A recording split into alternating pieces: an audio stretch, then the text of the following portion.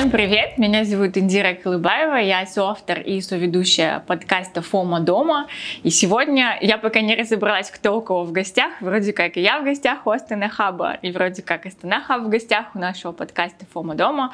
У нас получился такой а, кроссовер, потому что предыдущий эпизод мы записывали с Амирханом Умаровым на тему а, стартапов, на тему инвестиций, поиска инвестиций для стартапа. И сейчас такое очень логическое продолжение, все-таки вопрос звучит ребром. Как найти финансирование на свой стартап? И сегодня мы говорим с представителем Астана Хаба, с управляющим директором Абай Абсамет. А, сегодня мы хотим, там, Амирхана уже пытали, теперь хотим, Абай, тебя пытать. А, все-таки где деньги? Как поднять бабок, да? Да, да, да. На наши там движники. Ну, э, идея в чем? Идея в том, что я думаю, очень многие слушатели нашего подкаста «Фома дома» вдохновились примером Амирхана, да, и сейчас, пока вот этот вот, можно сказать, куй железо пока горячо, да, пока этот энтузиазм не остыл, а, мы бы очень хотели рассказать вообще, какие программы поддержки в Казахстане существуют, потому что я знаю, что их очень много, и Астана Хаб там живое тому доказательство. Поэтому давай, во-первых, расскажи, пожалуйста, о себе, и, во-вторых, расскажи об Астанахабе, о вашей ну, глобальной миссии. Да?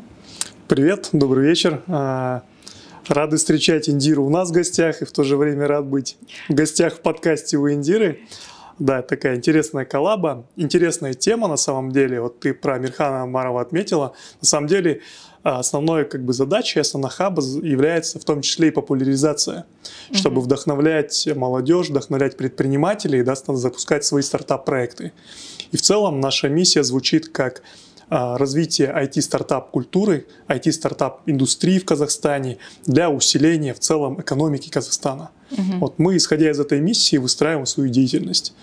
Вот. И а, если говорить про вдохновляющие примеры, с каждым годом в Казахстане становится все больше и больше. Появляются а, ролевые модели, которые показывают своим примером, что стартап это не так страшно, это тяжело, согласен, есть определенные барьеры входа.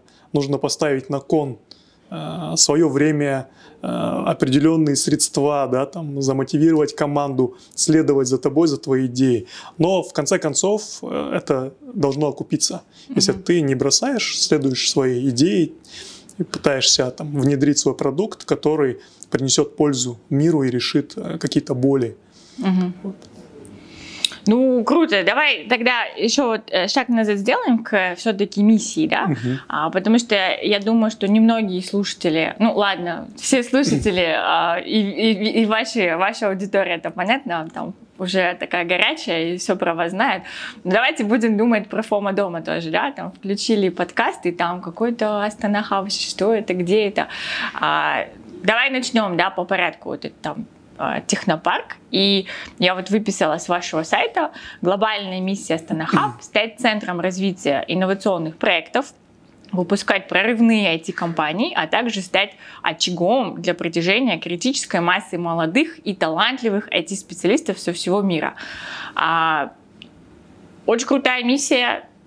Понятно, чем вы сами горите, как вы других зажигаете, да, какие у вас тут очаги а, полыхают. Но я хочу понять, как вы треките свой прогресс, да? Там, для меня было, наверное, откровением, что вы относительно недавно открылись, да, угу. вот и настолько э, границы времени стерты, да, я думаю, Астана Хаб там был там всегда, да, на практике у нас Экспо было всего лишь там, получается, пять лет назад, и Астана Хаб запустили с 18 да, с 18 угу. года. А, я хочу понять, как вы отслеживаете прогресс, что вы в том направлении движетесь, какие KPI вы для себя ставите, и вот в какой момент а, ты как руководитель, да, один из руководителей скажешь, блин, да мы красавчики. То есть я как обыватель думаю, ну, наверное, когда одного казахстанского единорога мы выпустим, да, а, для наших слушателей единорог это компания с капитализацией в миллиард долларов, да, то есть оценочная стоимость компании миллиард долларов, тогда, наверное, все такие, вау, все получилось, да. Вы к этому идете? Или есть какие-то еще угу. дополнительные такие социальные бенефиты? угу. которых в том числе ты упоминал. Угу. Да, мы, э, с нашей, мы пользуемся вполне понятными метриками в части нашего целеполагания.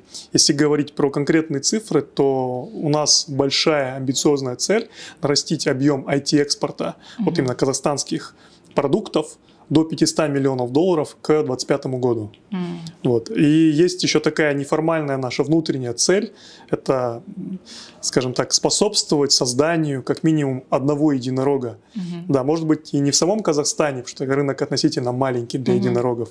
Может быть э, это будет фаундеры с корнями из Казахстана, да, которые в том числе начинали отсюда, инкубировали свои проекты здесь, привлекали инвестиции в наших площадках, вышли, получали да. весь суппорт и вышли на глобальные рынки. Это такая наша внутренняя цель, мы ее все в голове держим, и для этого мы создаем ну, критическую массу стартапов, чтобы они, скажем так, э, вместе способствовали достижению там, поставленных mm-hmm. нами KPI.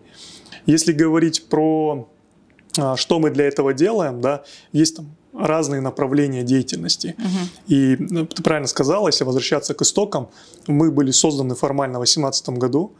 А, ранее, там, годом, эта идея пришла нашему руко- первому руководителю Макжану Мадиеву. Далее он начал ее развивать убедил э, высшее руководство страны, да, что такие, такой хаб он нужен uh-huh. стране. И, в принципе, с тех пор уже за 4 года если брать динамику по ключевым цифрам, по ключевым показателям, она показывает такой экспоненциальный рост. Угу. Как мы ее отслеживаем?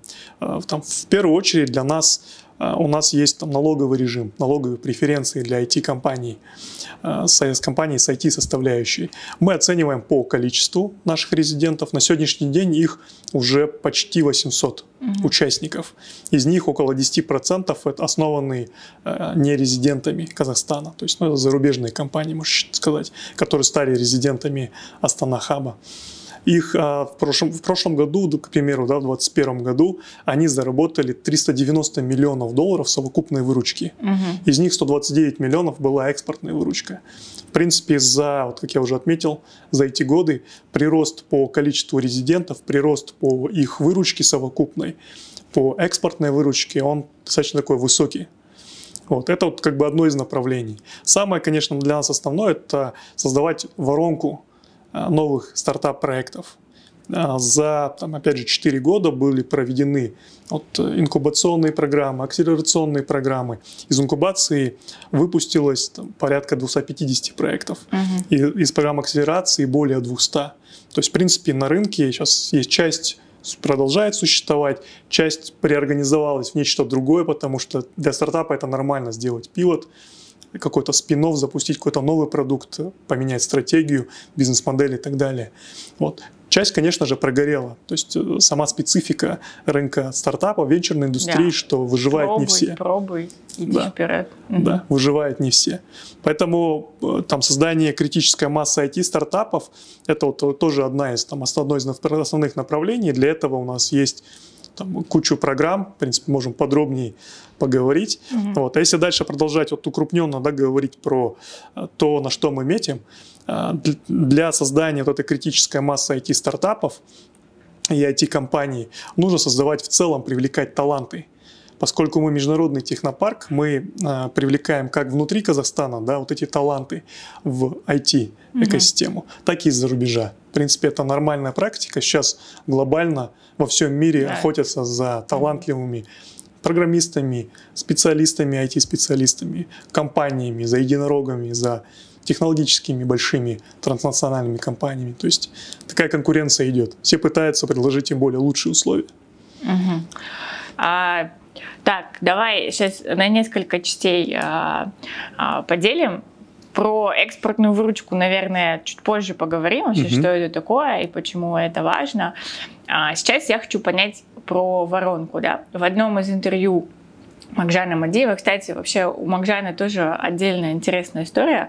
А, я как пользователь на Мики Z каждый раз думаю, вот как здорово, что это все реализовалось. И классно, что именно человек с опытом вообще в запуске нескольких стартапах а, там, возглавляет, да, потому что если ты на своем опыте не знаешь, если ты какой-то там махровый бюрократ, бывший, mm-hmm. дипло, там, не знаю, дипломат или, не знаю, там, кто там, депутат, да, и вдруг решил, захот... за... решил всей заниматься mm-hmm. стартап-тусовкой, ну, наверное, там шансы на успех очень маленькие. А, получается, в одном из интервью Макжан сказал, что а, вот ваши консультанты, да, как бы предрекали, что на первых порах, когда вы только запуститесь, вам будет легко, потому что там поле непаханное, и людей, которые какое-то время там ходили, обдумывали свои идеи, да, после того, как вы там запуститесь, они тут же к вам прибегут уже там с готовенькими идеями, и вам нужно будет только успевать этот урожай собирать, да. Угу. Но дальше все, вы урожай собрали, все в поле вспахали, и нужно ждать, когда вот взойдут вот эти там новые, новые росточки, да, и это как раз то, о чем ты говоришь про там критическую массу, да, и когда мы говорим воронка, ну не хочется говорить про э, переход количества в качество, да, но на практике так и есть, mm-hmm. да, то есть вы очень там широким плугом это все э, а, сеете, засеваете, э, там очень много у вас действительно программ, давай про них, наверное, чуть отдельно позже поговорим. И на выходе я уже сейчас вижу, да, что вот то, что вы там сеете, засеваете, оно уже дает плоды, да. Просто для наших слушателей я хочу сказать, что, э, во-первых, резиденты технопарка это открытая информация, да, можно зайти на сайт и посмотреть полный список. Там будет, кстати, список, кто уже не резидент, да, то есть вы, как это называется а, в статистике, survivorship bias, да, когда mm-hmm. кто-то отвалился, и мы уже перестаем трекить, такого нет, там есть полный список, и можно а, наглядно увидеть то, о чем Абай говорит, да, что не каждый, а, не, не, не каждая птица долетает до середины Днепра. Вот, и я читала статью о том, что вот есть некий список успешных стартапов, которые в 2021 году там вот топ-топ компаний, которые привлекли финансирование на общую сумму там, по 8 миллионов долларов, да, казахстанские стартапы привлекли финансирование. И по объему финансирования вот там и jet sharing, и, как правильно перенести, серебро, да, uh-huh. серебро, и 100 грамм, и Clockster, и Apart X, да, то есть каждая из этих компаний, Jet Sharing привлек 3 миллиона mm-hmm. долларов, Серебро привлекла 1 миллион долларов, 100 грамм привлекли 700 тысяч долларов, Clockster 450, Apart X 400 тысяч долларов, да, и все они это как раз резиденты Астана Хаба. Вот здесь я хочу понять, как это сказать, там, причину и следствие, да? Угу. То, что они привлекли эти деньги, это потому, что они резиденты Астанахаба? Или они могли бы это сделать и без вас, да? То есть в чем вот в чем конкретно вы им помогли? Угу. Какие условия Понял, создаются для компаний, чтобы угу. достигать таких там, ну, крутых результатов. Угу. Ну, перечисленные тобой проекты, они так или иначе пользуются сервисами Астана Хаб. Угу. Кто-то является налоговым резидентом, получает преференции. Угу. Это дает возможность ему реинвестировать, экономить на там, налогах и реинвестировать там, в свое развитие. Более конкурентоспособным. Становиться более конкурентоспособным, да, получать преимущества. Кто-то проходил там, наши акселерационные, инкубационные программы. Есть часть проектов, которые еще в первых потоках, там, в 2018-2019 угу. году в Хабе проходили вот эти вот все программы, где их учили, как э, там, тестировать свою гипотезу, угу. как налаживать каналы продаж, как готовить там материал, там, pitch и э, привлекать инвестиции. То есть все вот эти вот знания они получали здесь в хабе. Mm. Ну, Конечно, не хочется там полностью присваивать заслугу и говорить, что там, без хаба эти проекты бы не стрельнули. Это, конечно же, там львиная ну, доля зависит да, от Но. самих основателей ребят. Потому что сильные предприниматели, сильные основатели, они и сквозь асфальт, как да, да, да. Э, листочек, как росточек прорастут и без какой-то экосистемной поддержки. Но в целом, используя да, там вот эти вот все угу. механизмы, а, льготы, преференции, поддержку Асанахаба, они где-то допускают меньше ошибок. Где-то э, скажем так, экономят время да, на да. каких-то Их других путь, вещах. можно сказать, менее тернист. Их да? путь может быть, да, менее тернист. И вот задача Асанахаб, мы как институт развития считаемся, да, вот как раз-таки подкладывать соломки максимально, где это возможно. Да. Вот, поэтому и примеров таких на самом деле много. Сейчас вот отрадно, что на рынке там сделка 500 тысяч долларов, миллион долларов, в принципе, считается это типа норма. И есть, с одной стороны, люди, которые готовы в это вкладывать, есть стартапы, которые готовы эти деньги утилизировать и а, развиваться дальше. Mm-hmm. Вот. Если, допустим, может быть, года два-три назад привлечь там 500 тысяч долларов, это было wow. что-то вау, круто, mm-hmm. это все только об этой сделке говорили. Сейчас эта сделка, ну, как бы эта новость пролетает чуть-чуть, может быть, даже мимо, mm-hmm. потому что это становится какой-то, каким-то уровень нормы. Mm-hmm. Сейчас, конечно, стоит там задача уже э, привлекать фонды э, из-за рубежа, изнутри, да, чтобы создавались, чтобы заходили на более таких серьезных стадиях, уже на пассивной стадии, где, как правило, идет финансирование там от миллиона до трех миллионов долларов. Mm-hmm. Ну и потом уже следующие раунды, там, Series A, B, C, D, это свыше трех миллионов долларов. Ну и, конечно же, э, мечта это, там, чтобы был доступ к IPO, mm-hmm. чтобы стартапы уже настолько экспансировали, чтобы они уже сказали, что мы готовы к выходу на IPO, на какие-то биржи, да, угу. и привлекать уже деньги там и масштабировать свой бизнес. Да, а там и до, до единорога, да? Можно а сказать, там уже, да, и до единорога, в принципе, недалеко. IPO ну, это. тоже здесь прокомментирую в части там, образовательного контента, да, он тоже эволюционирует. То есть то, что получали стартапы там, на акселерации, инкубации там, 4-3 года назад, угу. сейчас уже это все модифицируется. Сейчас это намного все э, лучше, в том числе привлекаем экспертизу извне. Вот в прошлом году мы там стартанули, у нас был один батч совместно с Plug and Play. Угу. Это большой американский бизнес-инкубатор, но он мировой, считается мировым. Из него вышло там порядка 40 единорогов, то есть они инвестировали, развили по всему миру. Вот, то есть считается таким ну, бренд-нейм очень серьезный. В прошлом году мы провели с ними совместную акселерацию. Mm-hmm. И есть стартапы, есть эти компании, которые являются выпускником этого батча. Когда пошли они условно за рубеж, на какие-то зарубежные европейские рынки, а, когда они говорят Казахстан, там немножко там, не совсем понимает, там, у них там э, неправильная Свои парадигма, стереотипы, стереотипы да. да, типа где Казахстан, где там IT. А как только они говорят plug and play? Да, они говорят, а мы plug выпускники and plug and play, открывает он открывает им двери. То есть mm-hmm. этот бренд-нейм, он все-таки как бы дает о себе знать. Вот. Если говорить там про дальнейший прогресс, то в этом году, буквально весной, там, на нас вышел Google for Startups, они решили да, да, да. А, да, с нами заколлаборироваться, выбрать нас региональным партнером угу. по Центральной Азии. Туда еще вошел Азербайджан и Монголия. Вот. И чтобы мы здесь проводили акселерационную программу совместно с Google for Startups. Mm. Мы назвали... это будет не разовое, да? Вот сейчас у вас это будет поток. не разовое. Это будет да. у вас. Это, это будет ну, на постоянной основе. Mm-hmm. В этом году мы хотим успеть два провести батча. Mm-hmm. Вот. Если говорить про первый батч, то уже 15 э, стартапов отобраны. В принципе, мы пресс-релизы выпустили. Mm-hmm. Получили всего 330 заявок. Что удивительно, получили очень много заявок из там, Киргизии, из Монголии, из Азербайджана. Mm-hmm. То есть оттуда комьюнити уже подключились. Туда максимально мы старались до них достучаться, сказать, что вот есть такая возможность, да, да, да, не выезжая из региона, поучаствовать в акселераторе совместно да, с Гуглом. А он будет онлайн, да? Он будет в офлайне. Mm-hmm. Он будет в офлайне три месяца. Mm-hmm. 15 стартапов вот было отобрано. Вот. Через три месяца будем подводить итоги. Но ожидания такие, что эти стартапы, они с таким международным потенциалом. То есть у нас нет задачи их как-то здесь чтобы они осваивались и останавливались на своем mm-hmm. развитии. У нас задача дать им максимально такой международный экспозор, потянуть нетворкинг из Гугла, потянуть сильных воркшопы, сильных экспертов, менторов. Mm-hmm. Ну и чтобы этот бренд-нейм Гугла, он открывал им двери yeah. за рубежом. Угу. Вот, то есть задача такая. И это как бы одна из тех задач, э, которая служит самой большой цели нарастить объем IT-экспорта. То есть мы, грубо говоря, помогаем э, выходить стартапам за рубеж, на зарубежные рынки, экспансироваться, масштабироваться. Угу.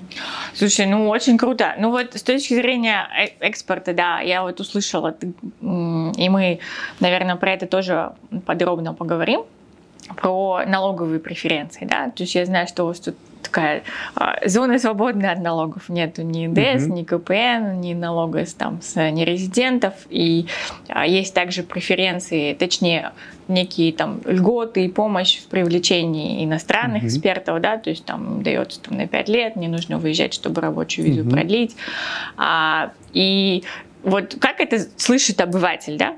Обыватель слышит, так, что-то там делают на казахстанские деньги, налоги не собирают.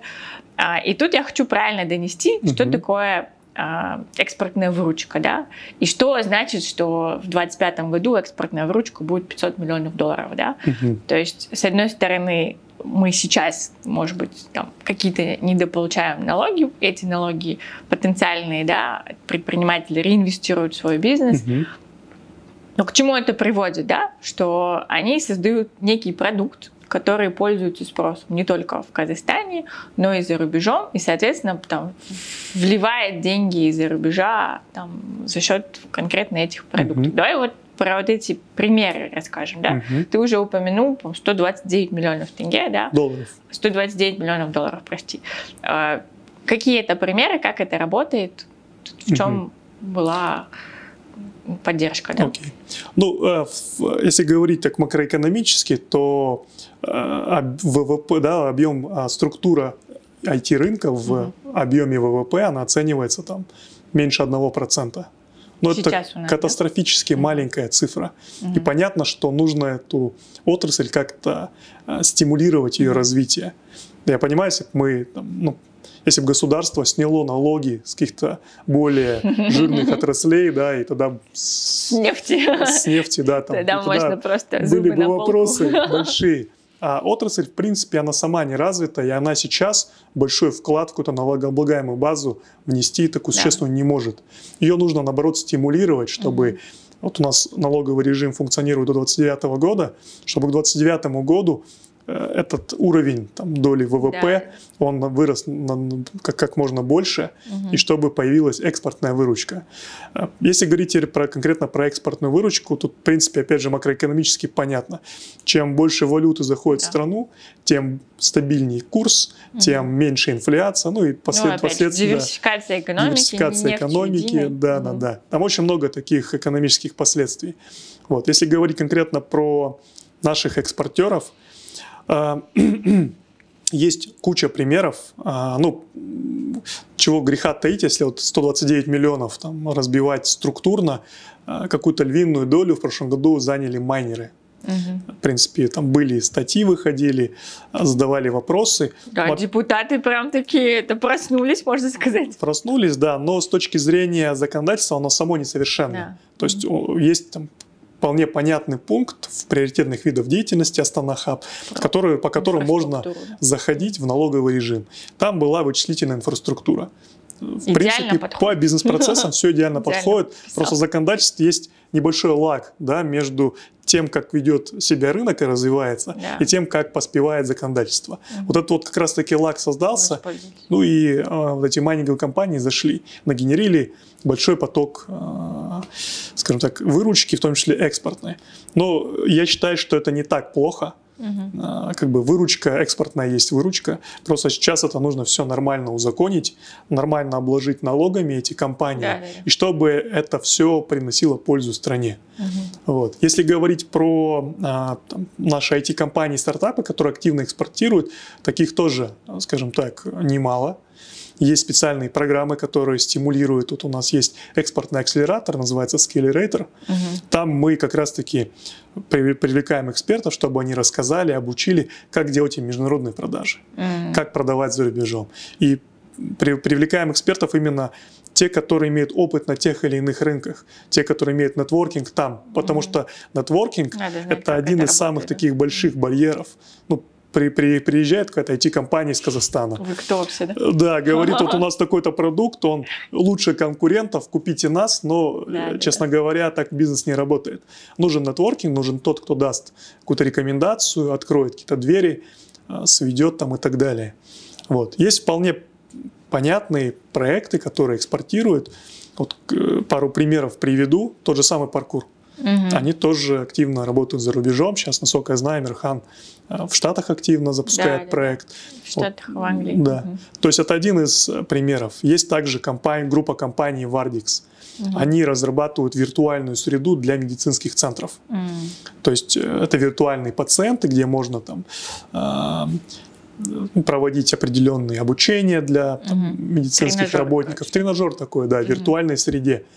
Вот. Также у них есть там продукты для горно-металлургической там, отрасли, ну и для других, там, в образовании и так далее. Вот, в принципе, они тоже активно инвестируют за рубеж. Это вот один из ну, таких э, примеров ярких. Таких угу. примеров можно перечислять много те, кто инвестирует так или иначе, экспортирует.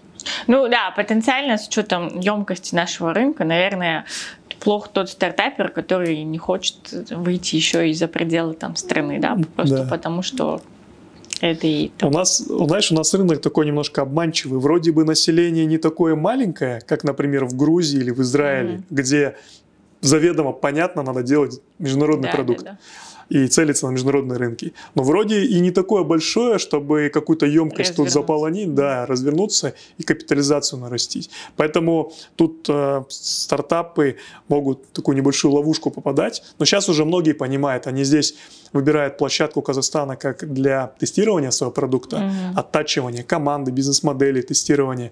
Но в голове они хотят все-таки выходить перспективе. Амбиции, Амбиции есть, и это классно, мы такие только поддерживаем моменты. Угу.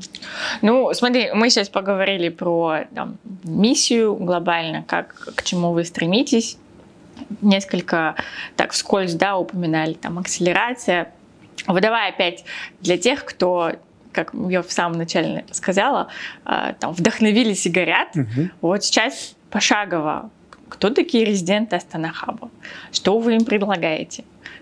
Что делать, если не стал резидентом Астана Хаба, но хочется, да, вот к этой культуре стартапов, mm-hmm. а, можно сказать, примкнуть, да, прильнуть. А, вот расскажи подробно, да, мы с тобой несколько раз там говорили про вот эту воронку. Mm-hmm. Если я там у самого края этой воронки стою, mm-hmm. что мне доступно, куда идти, как записаться, сколько, сколько стоит, стоит или не mm-hmm. стоит. На самом деле мы, да, вот именно по принципу воронки выстраиваем mm-hmm. свою деятельность, то есть мы пытаемся захватить аудиторию на, каждой, на каждом уровне воронки, предоставить им там необходимые продукты и сервисы, чтобы дальше у них возрос интерес, появились необходимые навыки, и они перешли дальше, mm-hmm. конвертировались уже на более там а, зрелую стадию. Если говорить про самых начинающих, то здесь у нас есть образовательные программы. Mm-hmm. К примеру, школа стартапа. Это шестинедельный курс, где дается полный интродакшн, что такое вообще стартап-индустрия, как ну, там, придумать идею, как провалидировать ее, угу. как собрать команду, как сделать какие-то прото прототип, первые продажи, ну и так далее, и так далее. Такой интро курс introduction, где человек в принципе уже понимает, ему это интересно, хочет ли он дальше развиваться или нет. Если говорить про другие образовательные программы, есть, к примеру, курсы а, школа No Code. Угу. То есть, где ребята могут прийти, научиться программированию, делать прототипы без кода, без, угу. без программ, навыков да, программирования. Это не разраб, да? То есть, это не разраб, да, ты вот не хочешь прям э, тратить ну, там, год-два, чтобы уметь программировать. Ты можешь делать прототип, научиться делать прототип буквально за несколько дней и начать его уже тестировать и монетизировать. Угу. Прототип имеется в виду и мобильные приложения, какие-то веб-сайты, сервисы и угу. так далее. Вот. То есть такая школа есть. Школа а вот эти две а, школы, а, как это работает? Это на какой-то конкурсной основе? Нужно иметь какую-то идею, нужно подавать заявку, стоять в очереди? Минимальных минимальных порог, порог, порог он очень минимальный, порог mm-hmm. входа, требований каких-то конкретных нету. Просто нужно следить за новостями, когда там мы работаем по принципу да? потоков, да, несколько mm-hmm. потоков в год проводим, допускаем абсолютно всех. Вот mm-hmm. кто проявил желание, оставил заявку, он получает доступ угу. к этой LMS-платформе. Все содержится на LMS. И в формате в он, онлайн, в любое удобное для себя время может обучаться. Угу. Вот. Это вот э, курсы там no-code, курсы... Получается, э, если все онлайн, я там, сидя в Петропавловске, могу все пройти, да? Вообще без проблем. Вот, а, к примеру, угу. школу no-code за последние два года прошло около 4000 человек. Вау. И я с уверенностью могу сказать, что не все из них это люди из Астаны, из Алматы. Да, да, да. Это, ну, есть очень много региональных, что мы очень сильно регионы подтягиваем угу. к нашим программам, даем всем им доступы, всегда даем анонсы, что та или иная программа запускается. Угу. Ну смотри, я прошла, получается, школу, получила понимание, как это работает, угу. да, там пошагово. А, я получила конкретные прям навыки, можно сказать, hard skills угу. в школе no code. Да.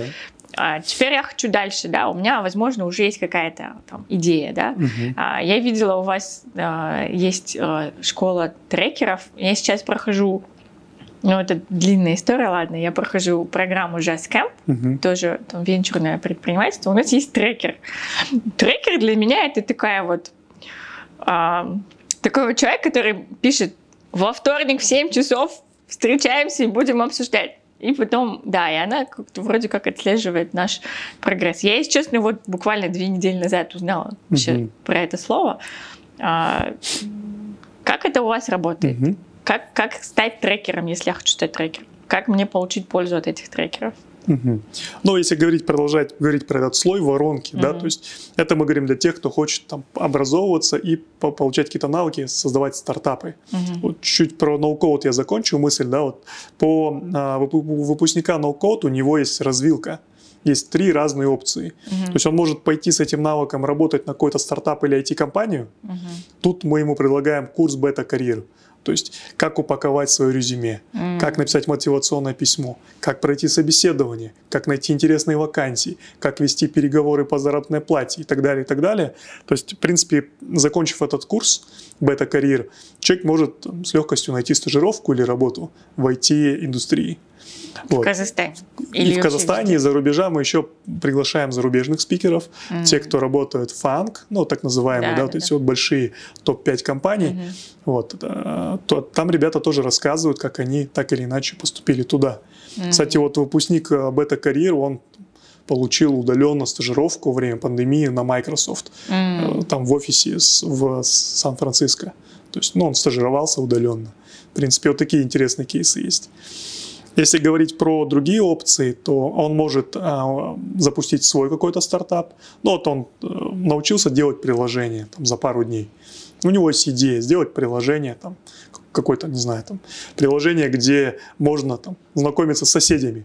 Он его запилил. Кажется, мне это приложение сейчас в Казахстане называется WhatsApp. Да, да. Но есть, наверное, лучшая альтернатива. Да, как знакомиться с соседями условно, да. Ага. Он сделал прототипы, и дальше он уже выбирает там путь стартапера, он приходит к нам в инкубационную программу, говорит, у меня есть идея, хочу ее там развить. Угу. Он заходит на инкубацию и развивает свою идею уже как фаундер стартапа. Угу. Вот. Если ни первый, ни второй путь ему не интересен, он не хочет ни на кого работать, не хочет делать стартап, он может продавать свой навык на ведущих фриланс-площадках мировых. Mm. Для этого у нас есть школа Freelance School. Mm-hmm. Мы там рассказываем тоже в онлайн-формате на LMS-платформе, как работать на международных фриланс-площадках. К примеру, Upwork. Как регистрировать свой профиль, как упаковывать свои услуги, как выставлять цены, как делать заказы. То есть Этому мы тоже всему обучаем. То есть, в принципе, на, на, по каждому направлению человек дальше есть там следующий call to action, как дальше ему развиваться. Угу. Вот примерно так. Короче, вы прямо заточены а, экспортировать человеческий IT-потенциал страны. Во да? всех да, направлениях, и в продуктах, и в трудовых часах, как фрилансеров там, и так далее. Также вот э, ну, те, кто э, тем, кому нравится программировать, э, тут есть, ну, в принципе, на базе Астана Хаб, это наши партнеры, школа Алем, угу. это ведущая а, мировая школа, очень уникальная, она без учителей, без лекций, основана на а, формате peer-to-peer обучения. Да. Искусственный интеллект выдает по мере твоего прогресса тебе новые занятия, если что-то у тебя не получается, ты не знаешь, ты можешь peer-to-peer со, со своими а, соклассниками, скажем угу. так, какую-то тему разобрать, и им за это дается, даются дополнительные очки, таким образом mm. стимулируя да, вот этой геймификации друг другу помогать. Mm-hmm. Вот. Здесь, в принципе, ну, школа Алем тоже на базе Астанахаб находится, обучение абсолютно бесплатно, и все курсы, все программы Астанахаб, они полностью бесплатны. Mm-hmm. Поэтому никаких там барьеров входа там, на эти курсы нету. То есть, по, по сути, даже без относительно вот всей этой стартаперской тусовки, если вы хотите поменять там свою карьеру, если вы э, да, там, хотите повысить свой доход, да, то есть, в принципе, все инструменты для того, чтобы с минимальным да. порогом входа можно было это сделать, да? Да, все, все инструменты, потому что на, на, наша там основная цель на этом этапе воронки создать вот эту вот критическую массу талантов, да, как IT-талантов, как угу. талантов именно предпринимателей. Если говорить про IT, вот мы вот буквально, я думаю, в ближайшем времени, в течение месяца, двух, запустим так называемую программу Текорда. может быть, уже какое-то Да, касание было. Это э, финансирование частных IT-школ, частных школ программирования для обучения физических лиц, для обучения граждан Казахстана. Это, грубо говоря, такое подушевое финансирование. Д- Опять же, к 2025 году мы планируем выдать около 20 тысяч ваучеров. В этом году у нас там KPI стоит выдать не менее 2 тысяч ваучеров. Вот. Как это происходит? А, IT-школы, школы программирования проходят там аккредитацию на базе Астана Хаб, становятся резидентами, проходят аккредитацию, выставляют курсы, по которым хотят они обучать, и участвуют в алгоритме, который распределяет математическим путем, исходя из эффективности этих школ. То есть школа должна показать свою эффективность. Как она измеряется? Первое – это средняя зарплата ее бывших выпускников. Мы подтягиваем данные из ЕНПФ, чтобы ну, было все Всё прозрачно. Максимально прозрачно. Да, ну и стоимость курса. Чем выше средняя зарплата и ниже стоимость курса, тем выше эффективность, Ну тем да, больше да, шансов получить большее количество ваучеров. Да, на меньшие деньги получаем Да. лучший, Да, а, лучший эффект. выхлоп. Вот, по такому принципу вот мы планируем в скором времени объявить эту программу, запустить ее. В этом году вот не менее 2000 ваучеров планируем выдать. То есть э, люди, которые ну, до этого откладывали идею обучиться программированию по, может быть, финансовым причинам или по другим, сейчас самое время. Как бы государство это все дело оплачивает, для вас это бесплатно. Вы только инвестируйте свое время и усердие. А вы можете инвестировать уроки программирования моему 11-летнему ребенку? А то я что-то вкладываю, вкладываю сюда, да. А Пок- до, до дивидендов рукой не, не скоро подать. Ну, пока эта программа рассчитана на тех, кто, скажем так, работоспособное Да. население, да, от 18 лет и выше. Но вот э, для а, школьников, вот если в частности брать э, Назарбаев интеллектуальные школы, Мгм. НИШ, у нас с ними есть очень хороший такой collaboration. Программа называется Teenpreneurs. М, То есть это молодые стартаперы. мгм. Вот. Мы, получается, взяли школу стартапа, взяли как- какой-то объем материала из школы No Code и Мгм. сделали специальную программу них, для них. мгм. И ну, десятки школ в этом году, в мае, а, в июне выпустились, прошли эту программу. А, Teenpreneurs. А, Был прям демо-дэй в городе Актау. Туда вот наши коллеги ездили, сидели в жюри. Очень интересные были проекты, которые, честно говоря, мы не ожидали получить. Были призовые, призовые там, денежные вознаграждения. И первое место вот в этом демо-дне занял NFT-будильник. То есть школьник а, там 10 или 11 класса Ага. создал NFT-будильник. Вот, то есть тренд NFT еще не так сильно зашел в Казахстан, но вот тут уже продукты на базе NFT Уже создаются. создали, да. Да, поэтому очень огромно, вот ты вначале отметила, что да, э, когда только хаб запустился, грубо говоря, все вот эти зерна, они были очень сильно доступны, да, там, М. в части критической массы. Те, кто, может быть, вынашивал идею, хотел, мы просто бросили там клич, они все сбежались Прибежали, в хаб. Мгм. Но со временем, с годами мы начали по- понимать, что Ручеек а, иссякает. Ручеек иссякает, Надо уже туда. массы Мгм. не хватает, стартаперов, да, потенциальных. И мы начали выходить там на уровень выше, вот это вот по принципу воронки, да, Мгм. и уже на, со, со школьной скамьи, с вузовской скамьи пытаться в эту массу, скажем так, обернуть э, вот эти вот IT-таланты. Поэтому вот так. Ну, смотри, окей, я поняла, что если я когда-нибудь захочу стать программистом или там почти программистом, да, то ну, мне есть куда идти. Вот теперь мы с тобой в ходе беседы несколько раз ты говорил акселерация, инкубация. Во-первых, давай э, объясним, ну, в чем разница, да, Мгм. для кого это доступно. И возвращаясь к теме резиденты Астана Хаба, почему выпускников 4000, а резидентов 1000, да? Как это работает и как им стать? И есть ли Мгм. какой-то лимит? Окей. Хорошо, да, да, вот мы спустились как бы на уровень воронки ниже. Мгм. Это те, кто уже готовы запускать свой венчур, да, там, свое предприятие. А, Есть программа инкубации, есть программа акселерации. В чем разница? На инкубацию заходят э, э, проекты на уровне идеи. То есть тем, кому нужно еще опробировать эту идею. Э, Да, может быть, NFT-будильник. Собрать команду, выстроить какую-то бизнес-модель, начать тестировать. Вот. На акселерацию уже заходят те, кто, в принципе, уже нашел какой-то, да, уже у них есть прототип продукта, уже есть какие-то, может быть, первые пользователи, есть уже какое-то собранное ядро команды. Вот. Им нужно просто ускорить свое развитие, да, то есть чтобы юнит экономика сошлась, да, это когда стоимость привлечения клиентов, она дешевле, чем э, заработок с клиентов, то есть, и чтобы уже дальше можно было масштабировать э, свой проект, уже находить какие-то каналы mm-hmm. продаж, заливать в маркетинг, ну и экспансировать.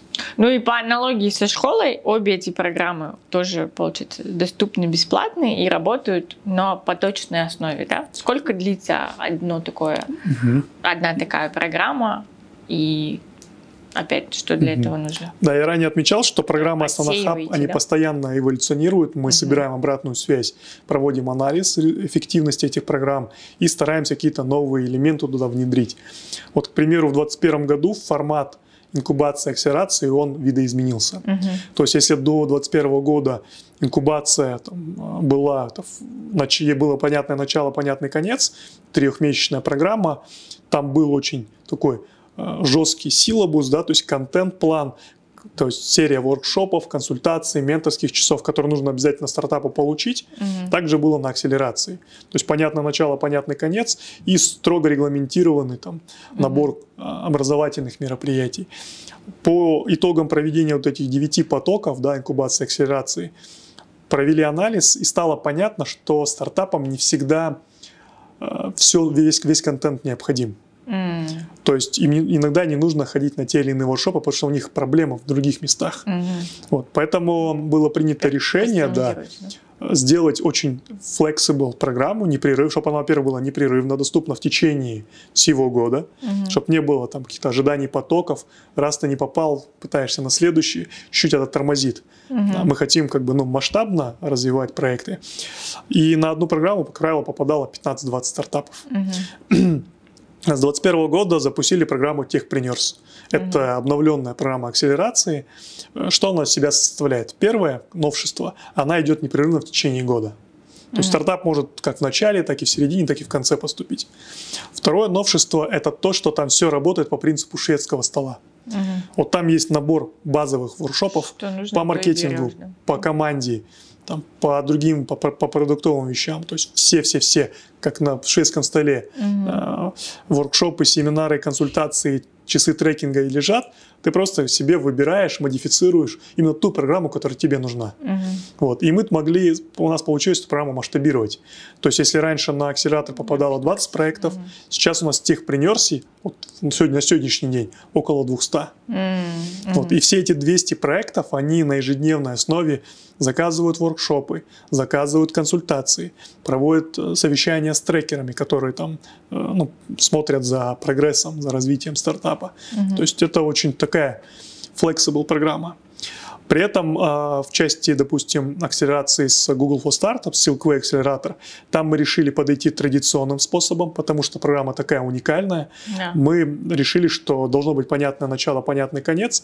Ну, на, на входе, да, должно быть ограниченное количество самых лучших, где прокачаются, они и выйдут.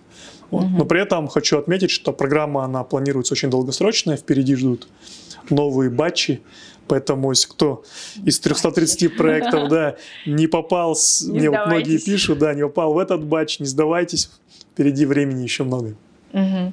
Ну вот я прошла э, уже там все, научилась ноу-кодить, э, прошла программу сначала инкубации, потом прошла программу а, акселерации, до IPO мне еще далеко. Вот между вот этим я выпускник программы акселерации и я единорог. Какой еще мой стартаперский путь? Как да. я ищу деньги? Он... Я хожу на демо-дни, да? Угу. Что еще я делаю? На самом деле путь такой еще очень долгий, да, но тем не менее на этом пути есть скажем так, опять же, необходимые инструменты поддержки, mm-hmm. которые мы предоставляем, когда уже у тебя есть свой проект, есть свой стартап, есть там, прототип продукта, уже какие-то первые пользователи продажи, а, когда ты уже начинаешь генерить какой-то кэш, а, в принципе, становится разумным, да, это все систематизировать в какое-то юрлицо угу. и начинать пользоваться на преференциями. Угу. То есть, как правило, здесь уже стартапы начинают э, входить в налоговый режим. Где они получают налоговые преференции. Тут они хотят зарегистрироваться социальные. у вас, да, но вы же не всех регистрируете. Я вот недавно знала, там, друзья говорят, вот, нам отказали в Астанахабе, не смогли стать их резидентами. Да, там есть, ну, не при... так, что вы всем там раздаете. Нет, направо-налево не, создаем, не, не раздаем. Процедура, она, в принципе, понятная, угу. структурированная. Есть там, 19 пунктов – это приоритетные виды деятельности. Угу. В каждом из пунктов должна быть IT-составляющая. Угу. Вот, соответственно, если там, компания соответствует хотя бы одному или нескольким, может она может уже подавать смело заявку. Угу. подается заявка абсолютно онлайн при помощи ЦП, не нужно там бегать с бумажками. Да. Подается заявка, тут она модерируется, обрабатывается и отправляется на откуп независимой комиссии. То есть комиссия независимая тем, что он, эти люди с рынка, а Санахаб, он влияния никакого на них не имеет. Угу. То есть это эксперты из области IT, они разбираются в бизнесах, в IT-бизнесах, в технологиях, в IT-продуктах, и они могут, в принципе, вынести суждение, насколько данный проект соответствует всем необходимым параметрам. Не, а они, они что, они пытаются какой-то потенциал рассмотреть? У вас есть какие-то минимальные требования или ты там одному из критериев угу. соответствуешь? Есть базовые, есть базовые требования, то есть минимальные, да, критерий. Также они смотрят на какой-то, ну, нам там нужно сдавать бизнес-планы, они mm-hmm. смотрят на масштабируемость идеи, на mm-hmm. планы, там, на технологии, на бизнес-модели и так далее. Но в основном акцент идет на соответствие хотя бы минимальным критериям. Mm-hmm. Вот. Бывает, конечно, ситуации, когда комиссия разворачивает не потому, что это отказ, они отправляют на доработку. Доработку. Необходимо, значит, угу. еще какую-то итерацию применить, чтобы доработать и более там, явно показать там, весь свой проект. Угу. Вот, поэтому на этом этапе, да, заходят, как правило, в налоговое резидентство. Оно не для всех, не все хотят. Бывают там проекты, которые еще не генерят какую-то прибыль. Им не в принципе, им не актуально. Да. Угу. Почему вот ты говоришь, стартапов там больше, чем налоговых резидентов, да, потому что ну, стартапы, которые не генерят какую-то прибыль, им, может быть, и не нужно заходить, получить преференции. Угу. Конечно, там есть очень хорошие преференции по социальным налогам, Угу. Там да, очень да. сильно снижается социальная, да, вот эта вот нагрузка. Вот. С этой точки зрения там многим интересно, они заходят. Угу. Вот, то есть они зашли уже, да, в налоговый режим, уже получается какая-то у них ну, почти финансовая мера поддержки, то есть они экономят да, на да, деньгах. Да. Вот. Также есть вот э, у Астана Хаба собственная программа финансирования, называется Seed Money. Угу. Там на стадиях уже э, ну, более зрелых, когда уже у тебя есть market fit твоего продукта, есть первые пользователи, продажи. Также на этапе scale, когда ты уже можешь ну, генерить постоянно да, стабильную выручку, ты можешь претендовать на seed money, на финансирование от Астана Хаб. Но опять же, если только я резидент, правильно? Если то, да. Это услуг... не так, что я с улицы пришла. Ну, Поучаствовать в конкурсе можно с улицы, если ты соответствуешь базовым критериям, ага. но если тебя, опять же, отберет комиссия угу. и присвоит тебе там, возможность получить сидмани, ты должен стать резидентом Астана Угу. Это угу. такое требование. Угу. Вот. А, это финансирование, оно уникальное для нашей страны. Это и не грант, и не венчурное инвестирование. То есть угу. грант дают просто так, а венчурное инвестирование, как правило, там, берут, долю, ага. берут долю в проекте. Ага. А, там, с той стороны. Берут долю в проекте. У нас что-то посередине. То есть угу. мы работаем по модели revenue share. Mm. То есть э, тот, кто получил seed money, он в течение трех лет должен платить 1% за пользование seed money от выручки. Mm. Именно от выручки. И 1% за то, что ты участник Астана Хаб. Это встречное обязательство. Mm-hmm. Вот таким образом, э, ну, это очень дешевые деньги по сравнению с венчурным финансированием. Ну да. То есть, ну, ты, тебе не нужно отдавать долю. Это mm-hmm. equity free. Mm-hmm. Вот. Что, так, кстати, еще про налоговый режим. Вот вообще откуда эта программа Сидмания она а, возникла. А, у резидентов, которые получают налоговые преференции, да, тут, тут к вопросам, типа, почему они должны обнуляться и ничего не давать государству. У них есть встречные обязательства. Есть финансовые, есть нефинансовые. Расскажу в первую, в первую очередь про нефинансовые. Угу. То есть у каждого резидента есть обязательство вносить в пользу в комьюнити. То есть у них в год 50 часов консультаций, Mm. должно быть по запросам, да, и минимум 4 каких-то ивента, которые должны инициировать, провести. То есть таким образом это вот э, про школу Алима привел пример, угу. когда peer-to-peer collaboration, когда ребята вовлечены друг другу помогать, это развивает целое комьюнити. Здесь принцип работает такой же, такой же peer-to-peer collaboration, mm-hmm. развитие комьюнити. Потому что в чем вот именно ценность хаба, это площадка, которая объединяет в себе множество комьюнити. Ну да, да, да. Тут и стартапы, и там IT-таланты, специалисты, и венчурные инвесторы, и там, ну, все этот комьюнити объединяется в одной массе, и происходит нетворкинг, возникают какие-то новые идеи, коллаборации и так далее. Мгм. Вот. Таким Тут образом, такая вас общественная нагрузка такая пробона, да? Ты здесь резидент, ну, пожалуйста, 50 часов. А, а что, как они используют эти 50 часов?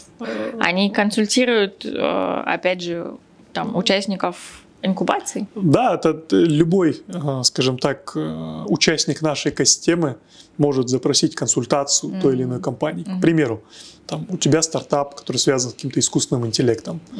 Ты смотришь там список резидента, видишь, что тут есть зрелая IT-компания, у которой уже там большой штат, там, множество продуктов, в том числе с искусственным интеллектом, которые уже, в принципе, собаку на этом съели, у них есть куча крутых специалистов. Да-да-да. Ты можешь запросить у них консультацию, они тебе выделяют инженера, инженер рассказывает, как он те или иные там, нейронные сети эти обучил, выстроил и так далее. То есть вот таким образом это работает. Ну да, такая синергия, Э, синергия, да. Круто. Ну, более опытные, там, э, скажем так, помогают менее опытным, так это все работает. Если говорить про деньги, тут э, история, примерно логика такая же. То есть налоговые резиденты, они обнуляются по налогам, но при этом у них обязательство платить 1% э, в пользу основнохаба, 1% от выручки. Да-да-да. Вот таким образом уже накопилась там существенная сумма за годы существования налогового режима. И вы теперь в И эту, и эту сумму, да, там реинвестируется все это в сидмани. Таким образом, там большие кормят тех, кто поменьше, Да, да, да. те, кто поменьше становятся большими, продолжают кормить, и так вот цикл этой экосистемы работает. Мгм. Да. Вот отсюда возникла программа Seed Money, которая ну, работает по принципу revenue share. Ну, вот э, Seed Money вы, получается, как, как это организуете? Какой-то конкурс среди э, выпускников акселерации, инкубации, и потом авторитетное жюри говорит, вот тебе чек на там, 500 тысяч тенге, а тебе чек на там, 5 миллионов тенге. Да, вот как я уже отметил, есть там э, две стадии, Product Market Fit и Scale повыше. Любые стартапы не обязательно быть выпускником наших программ. Просто если ты любой стартап в целом, не только из Казахстана, но и из там, Центральной Азии условно, ты можешь претендовать на эти деньги. Вот. э, Ты подаешь заявку, когда объявляется конкурс. Э, Там з- упаковываешь свой проект согласно формату, там бизнес-планы, питч-деки и так далее. Вот. Далее независимая комиссия. Я когда говорю про независимую комиссию, это, как правило, эксперты с рынка. Вот в Сидмане, Ну да. например, сидят э, ну, почти весь состав это венчурные инвесторы. То есть это практикующие венчурные инвесторы, которые знают, что такое стартап, знают, что такое инвестиции, знают, с какими проблемами сталкиваются стартапы и знают, как их оценивать, что самое интересное. Таким образом, эта независимая Видеть комиссия, она отбирает, выставляет баллы и формируется рейтинг. Те, кто на верхушке рейтинга, они забирают эти деньги. Суммы а, в прошлом году мы делали на Product Market Fit 10 миллионов тенге, для скейла 20 миллионов тенге. Это на всех. Это те, кто получил, ну, в смысле, те, кто попал в топ-лист. Вот. В прошлом году профинансировано было 35 проектов. Ну, к сожалению, бюджет, он ну, не резиновый. Мы какую-то вверху, верхушку Да, да, да. а, самых топовых по рейтингу, по проставленным баллам отбираем и их, э, вне- им выдаем финансирование. Ну, вот э, продолжая тему финансирования, мы когда э, с Михаилом записывали подкаст, мы там много говорили про ну, как он к этому пришел, какая должна быть подготовленность у стартаперов, да, и когда мы очень сильно хотели поговорить про деньги, вот создалось такое впечатление, что деньги вообще не проблема, что вот в Казахстане э, идей меньше, да, чем, чем денег. Была бы крутая идея, а там э, финансирование под эту идею а, потянется, в частности, в лице там ангел-инвесторов, да, Мгм. Что, он говорит, я не буду называть эти фамилии, вот идите в Астанахабе, они постоянно там тусуются, да, и ты там говорил, да, что это такой нетворкинг, такой треугольник, да, Мгм. здесь, а, значит, руки, специалисты, здесь, значит, все эти идеи в виде стартаперов, и здесь эти люди, которые готовы а, Голосовать деньгами. проинвестировать, Мгм. да, то есть они там своим наметанным взглядом такие, ага, вот этот проект классный, я проинвестирую в него миллион долларов. Мгм. А, вот как вы помогаете всем вот этим своим выпускникам? Там Петя, это Вася, у Васи есть миллион долларов, у Пети есть крутая Мгм. идея, познакомьтесь. А, как формально это проходит? Какие-то демо-дни, Мгм. пич-дни? Как туда попасть, как впечатлить и какие ты, исходя из своего опыта, можешь дать наблюдения, советы? Угу. Ну, опять же, да, Станахаб – это площадка. Тут мы даем знания, даем нетворкинг. Угу. То есть э, мы не можем взять там, стартап за ручку и ходить с ним, привлекать с ним инвестиции. Это задача предпринимателя. Yeah. Для этого там, на наших программах они обучаются. Вот это самое главное на самом деле. Обучиться, как правильно структурировать свой пич, как угу. правильно презентовать их инвестору. То есть самое главное продать, да, вот, э, скажем mm. так, э, вот эти вот предложения инвестору, чтобы он вложился.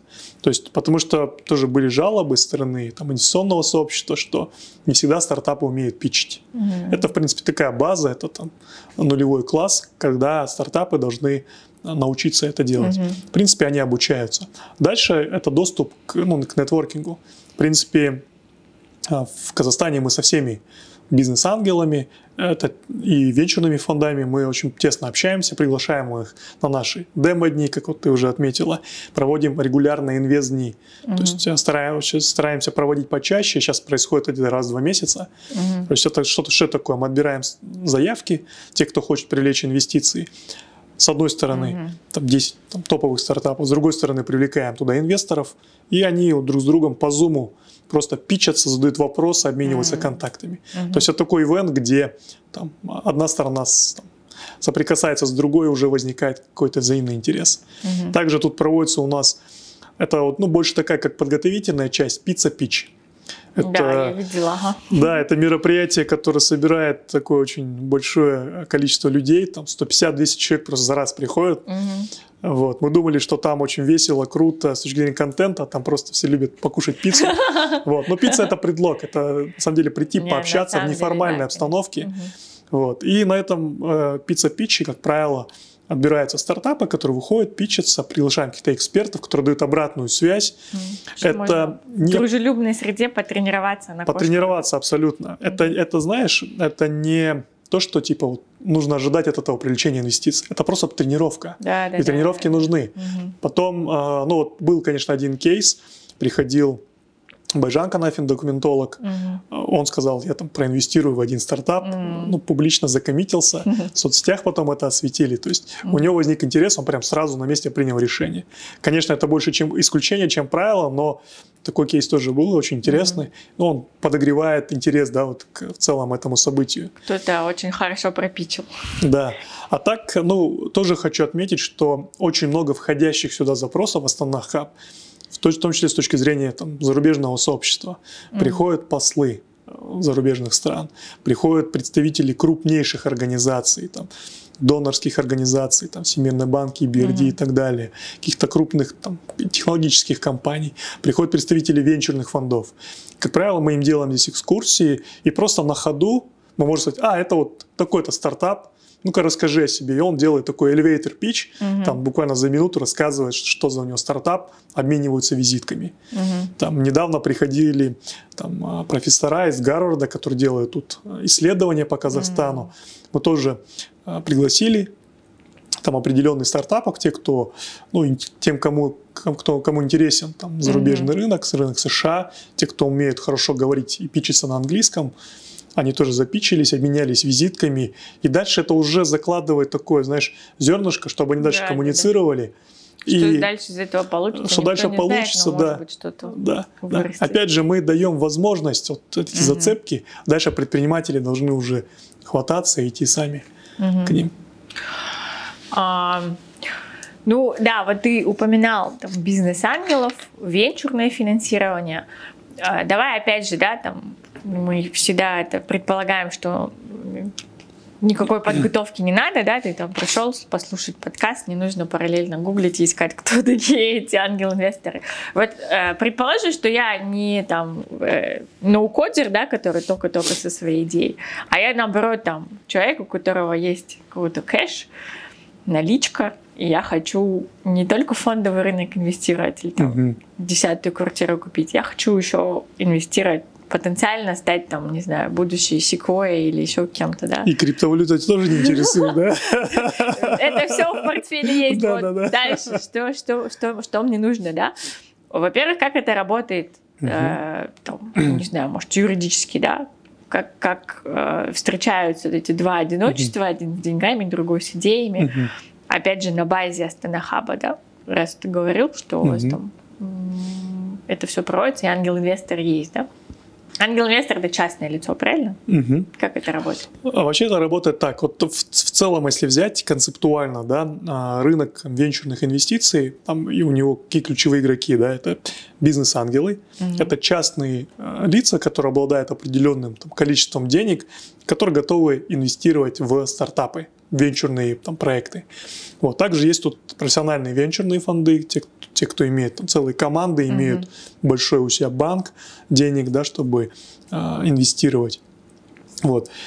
Если брать там конкретно там, нашу страну, да, в принципе, рынок венчурных инвестиций, он эволюционирует органически. Угу. Вот я здесь там, с Амирханом не соглашусь в том плане, что нет там достойных стартапов.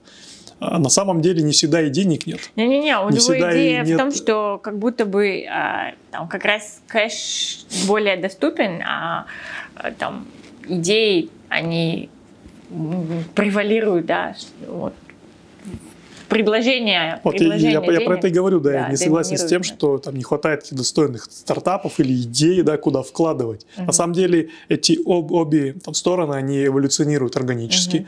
Каждый там проходит свой какой-то этап развития, но они плюс-минус коррелируют. Иногда даже у нас на рынке не хватает фондов на пассивной стадии.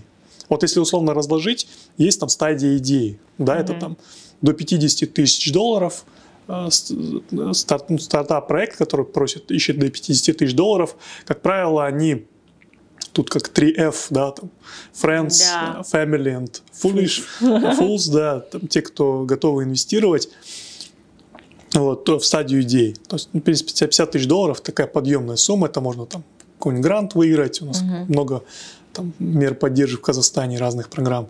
Можно там зарейзить у знакомых, друзей, семьи, там свои какие-то накопления выложить. Да?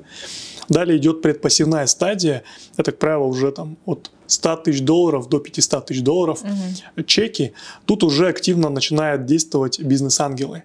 Ну и какие-то венчурные фонды, у которых есть мандат на предпосевную стадию. Здесь, как правило, у стартап-проекта есть какой-то MVP, какой-то прототип угу. продукта, который он должен протестировать, найти свой market fit. Уже какой-то есть, закладывается ядро команды, да, то есть угу. какие-то ключевые игроки, которые занимаются вот этими вопросами. Вот. Далее уже после предпосевной стадии идет посевная стадия. Она, как правило, там оценивается от 500 тысяч долларов до 3 миллионов долларов. Угу. Это средние цифры, везде по-разному, примерно говорю. Тут уже есть, как правило, рабочий продукт. Как правило, уже есть первые или стабильные продажи, угу есть уже какая-то масса пользователей. Тут, опять же, есть некоторые бизнес-ангелы, ну, на рынке Казахстана они тоже довольно известны, те, кто и по миллиону долларов вкладывает в проекты, и больше, и венчурные фонды. Вот. А также есть, далее уже идут э, так называемые серии, да, там серия А, Б, С. Угу. Вот тут уже работают венчурные фонды, уже заходят сюда private equity фонды и так далее. Вот как будто бы сейчас у нас, вот, как я оцениваю да, состояние, очень много тех, кто финансирует на стадии идеи, угу. на стадии предпассивной. Угу. Пока не очень-то много тех, кто финансирует на пассивной стадии. Ну, чеком там в среднем миллион долларов и выше. Угу. Они есть, но их не так много.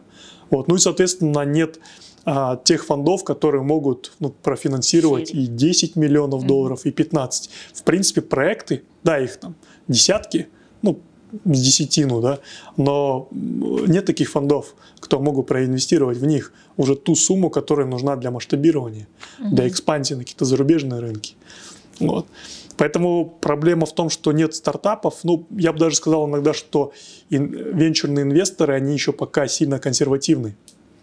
Если сравнить там с зарубежными рынками, западными рынками, mm-hmm. даже с российским рынком, да, когда там еще все было хорошо, там, в принципе, были более агрессивные инвестиции. Там, там толерантность к риску, она была вот такая достаточно низкая. Mm-hmm. Там иногда даже шли на такие очень рискованные сделки и, в принципе, засеивали поле да, вот этих стартапов деньгами. И выживаемость, соответственно, была быстрее. Вот, в частности, Seed Money проект, он для чего создан? Для того, чтобы, условно, стартап дожил до какого-то раунда инвестиций. mm Вот. Поэтому вот примерно такая ситуация. Если говорить про конкретно ну, бизнес-ангелов, то есть э, людей, которые хотят инвестировать, Кстати, у нас есть там тоже была школа венчурного инвестора. Mm-hmm. С 2018 года мы ее проводили три года подряд. Где-то выпустилось порядка 150 человек. То есть это люди, заинтересованные в венчурном инвестировании. И вы их учите, как оценивать, как рассматривать потенциал, да, как увидеть да, да. Э, в этом худеньком мальчике, который тебе сейчас в джинсах пичет будущего там. Ну да, это, да? это такой, знаешь, э, интенсивный трехдневный курс, там uh-huh. по 4-5 по часов в день. Uh-huh. Мы просто в целом даем интродакшн. Что такое вообще венчурное, э, венчурное инвестирование? Чем оно отличается от классического? Там, uh-huh. Рисками, там, доходностью.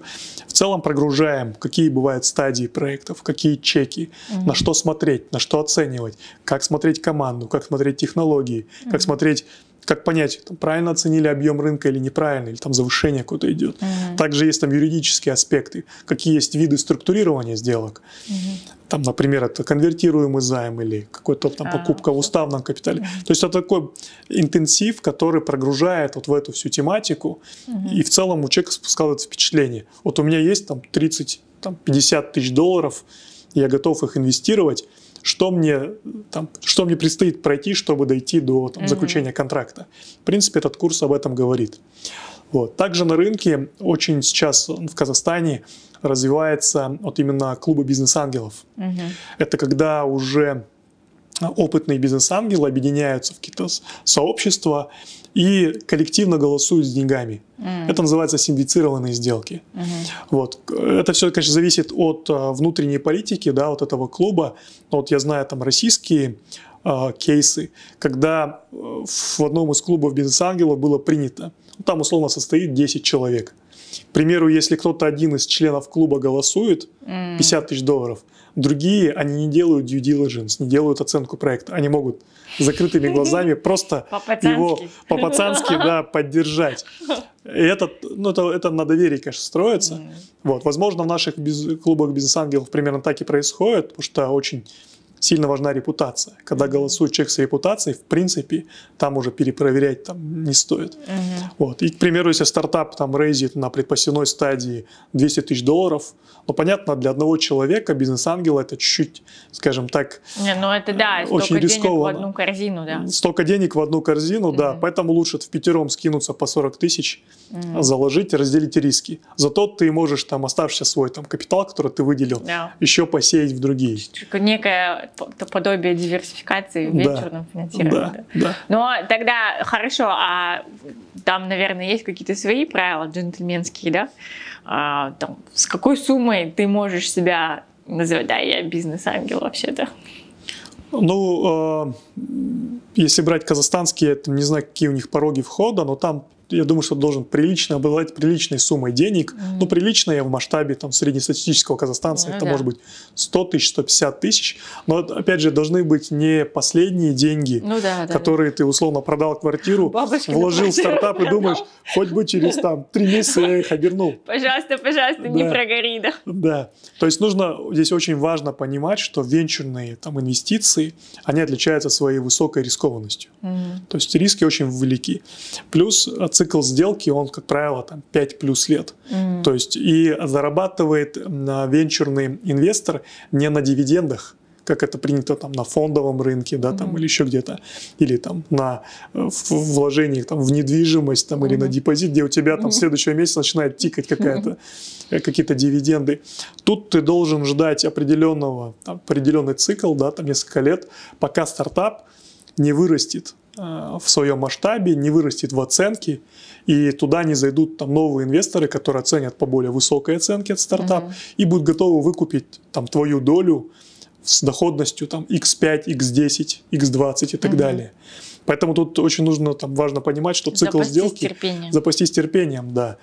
Плюс еще такой ну, момент... Если повезет, компания дорастет до IPO, а, поднимет там очень много да. денег, и ты со своей долей там ну, из этой сделки выйдешь, да? Конечно, из этой сделки там x100, x1000 можно сделать. Угу. Да. Поэтому тут очень важно, там, когда инвестируют вот именно в эту сферу, вот эту вот специфику понимать. Для этого, в принципе, школа бизнес-ангела существует. Ну и в интернете очень много курсов, там, объяснений, в чем ключевое отличие. Поэтому рекомендация такая, не нужно там на последние деньги да, инвестировать в э, стартапы. Если есть какой-то там ну, диверсифицированный портфель, есть какой-то там объем, портфеля 100-200 какая-то тысяч долларов. да, с этой сдачи, Да. пожалуйста, приходите. Просто приходите, инвестируйте. Я думаю, что в казахстанские проекты надо верить. А, В принципе, они это доверие, уверен, что оправдают. А, столько всего для себя нового узнала, хотя достаточно там, ну, изучала, да, эту тему для подготовки. Спасибо большое, Абай. А, мне кажется, там, все те, кто вдохновились, сейчас, наверное, ответили да, себе на вопросы, как делать, что делать, пройдут школу стартапа, обретут все там инструменты. И, в принципе, главное, чтобы были, наверное, там мозги и э, вот эта страсть, да, чтобы Мгм. ты горел своей идеей, там был готов по ночам проводить зум-колы с Америкой и прочие страдания, да, на которые, наверное, в- на какой-то период времени стартаперы себя а, обрекают. Давай напоследок скажи, пожалуйста, вот нашим слушателям, какой вот для них месседж, да, ты хочешь донести, как вот управляющий директор, исходя из вашей миссии, исходя из ваших а, планов, исходя из того, всего того, что вы здесь делаете, что бы они хотели, что бы ты да, хотел до них донести сегодня?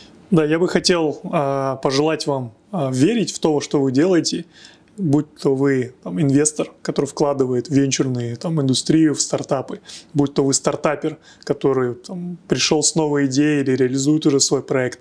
Верьте в то, что вы делаете, не бросайте, не останавливайтесь, потому что индустрия такая очень а, тяжелая на самом деле, а, дохождаемость до какого-то понятного результата, она очень низкая, и, как правило, доходит до конца те, кто не сдавался. Мгм. Это вот любого, если послушать, успешного предпринимателя и наших казахстанских и зарубежных, самое главное качество – это не сдаваться. Мгм. Поэтому желаю вам верить в это, не сдаваться и идти к своим мечтам и целям. Никогда не давайте. Ура! Да. А, и подожди, еще один вопрос. Вот мы записываем в такой классной у вас студии, и я несколько раз была у вас в Астана Хабе, у вас такой очень классный а-ля Google Coworking. Давай вот такой по скрипту для сл- слушателей. Как этот коворкинг работает? Как здесь в вашем офисе засесть? А, да, это, тут, я говорю, у нас настолько много там разных Что программ, упомнишь, что да? тяжело вот это вот все в один час упаковать. Вот, к слову, да, а, те, кто проходит, те стартапы, те проекты, которые проходят наша программа акселерации, образовательной программы, они могут получить тут а, место бесплатно. То есть главное показывать, те, кто получили места, показывать traction. То есть, к примеру, если вы зашли там на стадии MVP, вы не можете на, здесь сидеть очень вечно, Год. находясь на одной и той же стадии. Да. У нас политика такая, что ты должен показать traction, мгм. трекер должен оценить, что ты вырос за этот период, и мы тебя переводим на следующую стадию, например, Product Market Fit. И М. ты продлеваешь да, свое местонахождение здесь. Если ты не вырос, ну, sorry, освободи место тому, кто, Кто растет, кто да. растет, кто хочет расти там, и так далее. То есть, когда я здесь по коридорам Астана Хаба хожу и на ваши эти, любуюсь ваши места, не просто так они сидят, да, Мгм. они, реально работают, показывают да, прогресс, да. и за это вы им Да. даете такие эти.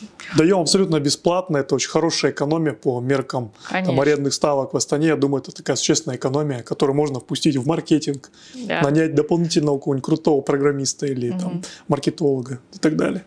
Слушайте, ну, если после этого эпизода вы со своими идеями не начнете свой стартап, не знаю, у вас просто закончились все отмазки, так что Мгм. давайте а, записывайтесь на Станахаб в Инстаграме, у них очень много, я посмотрела, и пицца пич, и вообще очень много а, мероприятий в будни, и в выходные.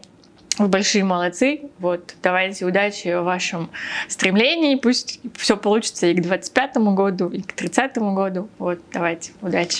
Спасибо. Спасибо за э, такой collaboration. Мне очень понравилась такая приятная беседа. FomoDoma, вашему подкасту желаю э, увеличения количества слушателей, чтобы вы эту ценность, которую вот вы несете, чтобы она доходила до людей, чтобы они эти знания применяли и в практическом русле приумножали свое благосостояние, свои финансы. Yes. Все, спасибо. Круто?